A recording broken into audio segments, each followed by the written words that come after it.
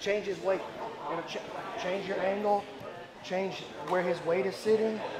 You need him to commit that hand either to the ground to let go of your neck or stick on your neck so that you can continue rotating for the arm bar. That first movement is what's going to give you that opportunity.